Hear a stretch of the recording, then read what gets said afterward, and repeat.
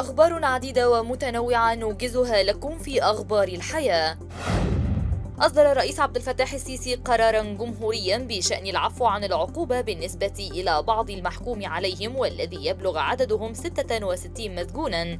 كما أصدر سيادته قرارا بتعيين بعض المستشارين رؤساء بمحاكم الاستئناف ونشر القرار في الجريدة الرسمية.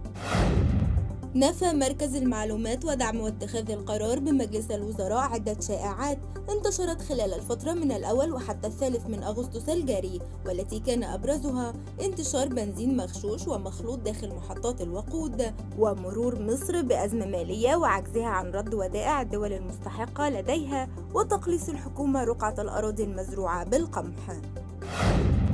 اختتمت فعاليات التدريب البحري المصري الأمريكي الإماراتي السعودي المشترك تحية النسر استجابة النسر 2018 والذي استمر لعدة أيام في نطاق المياه الإقليمية بالبحر الأحمر ونفذته وحدات من السفن والقوات الخاصة البحرية والقوات الجوية للدول المشاركة.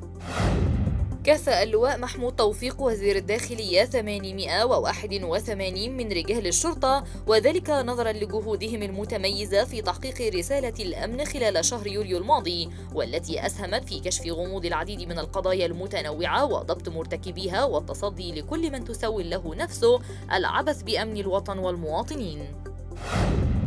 أكد الدكتور هشام عرفات وزير النقل أن الوزارة استهدفت من رفع أسعار تذاكر مترو الأنفاق استدامة الخدمة في المقام الأول نافيا اعتزام الوزارة رفع أسعار تذاكر السكة الحديد إلا بعد الوصول بمستوى الخدمة المقدمة للدرجة التي تحظى برضاء المواطنين.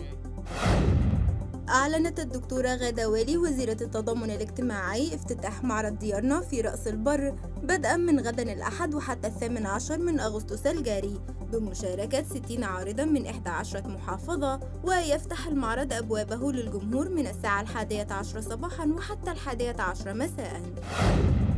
تسير شركة مصر للطيران اليوم 17 رحلة لنقل 3675 حاجا من حجاج قرعة وتضامن الشرقية وقرعة وتضامن الإسماعيلية وقرعة أسيوط والدقهلية وقرعة وتضامن القاهرة والسويس وحجاج مالي.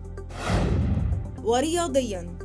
حقق فريق بيراميدز فوزا ثمينا على حساب انبي بهدف نظيف في المباراة التي أقيمت بينهما ضمن منافسات الجولة الأولى لبطولة الدوري الممتاز.